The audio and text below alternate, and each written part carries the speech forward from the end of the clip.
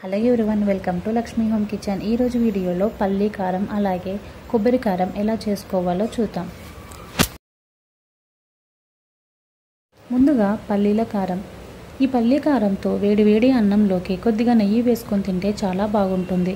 అలాగే ఏదైనా పప్పులో కూడా సూపర్గా ఉంటుంది. దీనికోసము ఒక కప్పు పల్లీలని ఈ విధంగా వేయించుకోవాలి. చల్లారిన తర్వాత పొట్టు తీసి ఒక మిక్సీ జార్లోకి వేసుకోవాలి.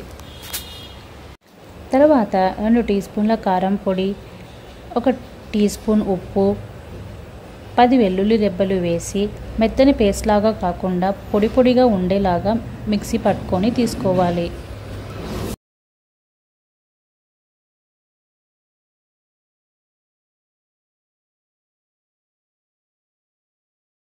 ఈ విధంగా పొడి పొడిగా ఉండేలాగా మిక్సీ పట్టుకొని తీసుకోవాలి. తర్వాత కొబ్బరి కారం ఎలా చేసుకోవాలో చూద్దాం.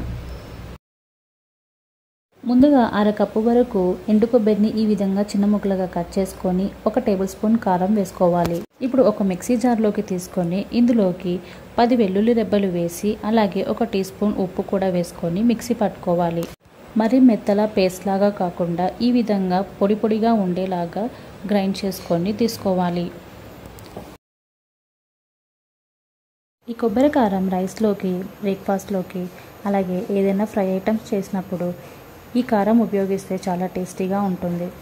ఈ వీడియో కనుక లైక్ చేయండి షేర్ చేయండి. మరిన్ని వీడియోస్ కోసం ఛానల్ని సబ్స్క్రైబ్ చేసుకోండి. మీరు కూడా ట్రై చేసి మీకు ఎలా వచ్చిందో కమెంట్లో షేర్ చేయండి. Thanks for watching